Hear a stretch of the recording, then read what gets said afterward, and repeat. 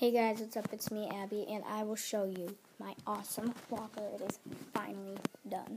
Um, sorry I didn't show you how to build it, but I, I did some of the work. I did a lot of work, actually. Alright, so let me turn this over. So as you can see, it is like, um, it has like the Shopkins logo, and I know you can't see this for sure. Once you shop, you can't stop. So, um, you know, and I put like this little locker signal um, thing. And then I, I don't know her name, but I put a Shopkins character, and then I put like some little duct tapes on it so it can open up like that. And then I put some like little designs that it came with. The Shopkins stuff did not come with it. And then the LOL sticker came with it. The hearts came with it. That did not come with it. Um, this is I don't I don't know her name. I think it's it's not Soda Pops. I know that. I don't know what her name is. So I put um, no, Go Number One Team on there, and then I put BFF BFF up there, as you can see, and then it says Lowe's Build and Grow School Locker. It says that right there.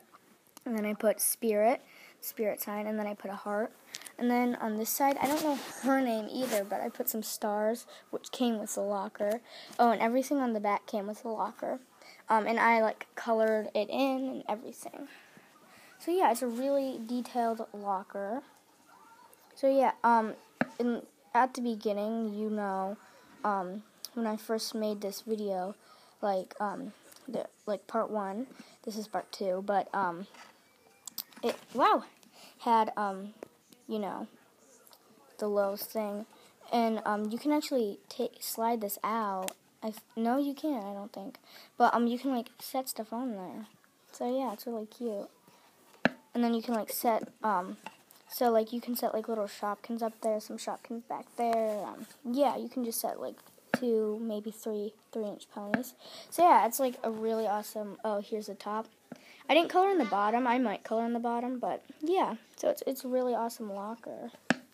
Um, and if you notice, you if you like put your finger here, you can't open it, but um, you can Sorry if you hear the noises in the background. You can like put something there to stop the locker or to keep it locked. So I will show you my brother's race car.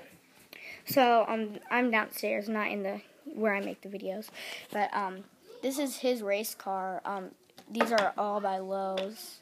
So he was gonna color it red, but you know, hey, he's a lazy brother. So all you do is you just pull it back and you let go. Ah! Crashed.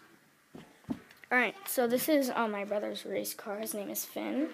He designed it. Yeah. And I put his name up there.